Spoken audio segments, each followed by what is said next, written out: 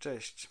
Dzisiaj chcę Wam pokazać, jak zoptymalizować e, zwroty za stakowanie samego IoTX, ponieważ cały ekosystem pozwala na to, że um, dzięki partnerom, z którym współpracuje IoTX, możemy dostawać nie tylko IoTX-a, ale zwiększyć swoje nagrody. Jak już widzicie na panelu, nie mam dodatkowo dwie kryptowaluty. Um, które dostaję właśnie za stakowanie IoTX-a.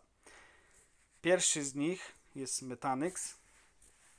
To jest walidator, którego wybrałem sobie mm, do delegowania i właśnie tego walidatora trzeba wybrać. Zaraz Wam pokażę, otworzę wszystkich walidatorów. Widzicie, mam wybrany walidator Metanixa, e, ikonka i tu mam delegowanych 5000 sztuk. I dzięki temu, że deleguje za pomocą walidatora Metanix, dostaje ekstra nagrody. A Metanix jest partnerem IoTX od samego początku. Jest wielołańcuchowym walidatorem. E, no i dzięki temu, e, że współpracuje z IoTX-em, e, chcą zachęcić mm, nas do tego, żebyśmy mm, stakowali dłużej i więcej dostajemy od nich właśnie Metanyxa w nagrodę. Nie jest to wiele, ale fajnie podnosi e, wartość naszego portfela. Widzicie 209 sztuk w tej chwili to jest no, niecałe pół dolara.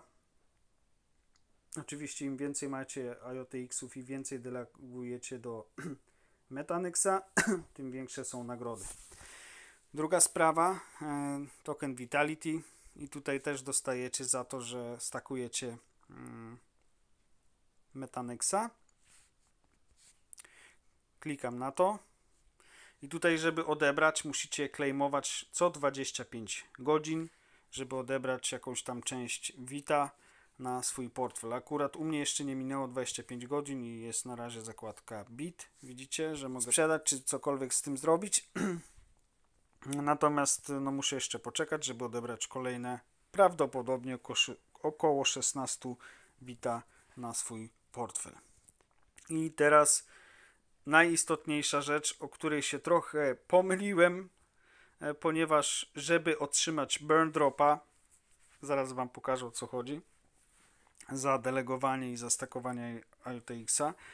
Pierwszych tych czterech delegatorów, których mam, ta ikonka z płomykiem oznacza właśnie, że jestem uprawniony do otrzymania burn dropa ale możecie to tylko i wyłącznie zrobić wtedy, kiedy delegujecie swoje e, IoTX-y na minimum 91 dni. Ja byłem e, przekonany na początku, że to jest do 91 dni, a źle, źle to po prostu odczytałem. Musi być delegowane na minimum 91 dni. Musicie to edytować i tak jak tutaj poprawić na przynajmniej 91 dni, żeby były delegowane. Ja blokuję je na 120 dni. Dodatkowo możecie zamknąć to na te 120 dni, że nie będziecie mogli wypłacić przez te 120 dni. I to znowu podnosi mm, nagrodę za stakowanie. Dodatkowo e, wtedy dochodzi 3% mm, e, do, do waszego stakingu. Za samego burn dropa jest około 9%. Mm, wartości portfela. Autostake jest, e, jeżeli zastakujecie, mm, zrobicie autostake, jest 1%. E, e, I jeżeli wydłużycie, im dłuższy jest proces delegowania IoTX-a w staking, to jest dodatkowe 3%. W sumie można otrzymać aż 40 prawie procent. W tej chwili za sam staking tylko IoTX-a jest około 10%. Mm, teraz Wam pokażę, e, jak to zrobić, żeby być uprawnionym do burn dropa. Klikacie na ikonkę, na przykład wziąłem sobie ostatnie nagrody IoTX-a i tutaj mam, widzicie, zablokowane na 30 dni i niestety to mnie taka ilość dni nie upoważnia do burn dropa, edytuję to restake anytime i wydłużę sobie dni na 91. Za każdym razem, jak zmieniacie e, ilość czasu, to licznik Wam się zeruje i musicie stakować od nowa, żeby otrzymać tego burn dropa, więc weźcie to pod uwagę, jeżeli się decydujecie, to na ten minimum 1, 91 dni, żeby e, być uprawnionym do kolejnych 9% ekstra e, z burn dropa. Zamykam. Robię stake lock. Next.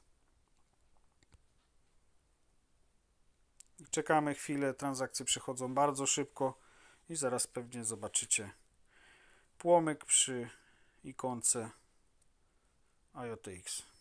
IOTX Lab. Tutaj możecie naciskając na ikonkę poczytać o tym co to jest, co to za delegator, co sobą prezentuje, co proponuje i tak dalej, i tak dalej. No i co, w zasadzie tyle. Nie chcę Wam więcej w głowie mieszać, bo tego jest naprawdę sporo. Yy, O samych krypto jak Metanix czy Vitality możecie sobie poczytać. Podlinkuję to pod nagraniem. Mm, Warto się w to zagłębić.